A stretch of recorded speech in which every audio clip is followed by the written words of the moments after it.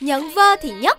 Teaser solo của Jisoo bất ngờ bị một bộ phận Cnet tố ăn cắp văn hóa Trung Quốc. Đẹp hay của nhà các chị tớt. Ai cũng biết Trung Quốc là một đất nước hùng mạnh và có nhiều điều hay ho. Nhưng đâu phải tất cả mọi thứ hay ho đẹp đẽ đều thuộc về Trung Quốc. Và mới đây, một bộ phận Cnet đang khiến người hâm mộ K-pop Đặc biệt là Blackpink trên toàn thế giới phải sôi máu khi cho rằng Jisoo ăn cắp văn hóa của nước mình. Cụ thể trong teaser solo của Jisoo có nhiều chi tiết truyền thông của xứ sở Kim Chi và mang yếu tố văn hóa như tấm bình phong, cây trăm cài, hoa thủy mặc.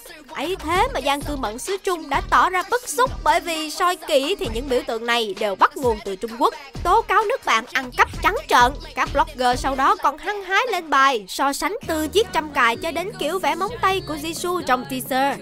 Thật sự là nể mấy bà Sinet đấy, Phim cổ trang chẳng xem bao giờ mà cứ cái gì hay, cái gì đẹp là vơ về mình hết. Thế mà Covid-19 với nhà hiền họ ngô thì lại chối đầy đẩy